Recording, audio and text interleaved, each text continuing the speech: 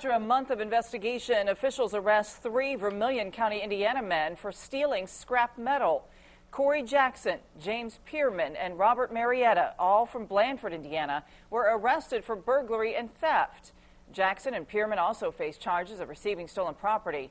The Vermillion County Sheriff's Department believes the three took items to be sold as scrap metal from a barn in rural Bono, Indiana.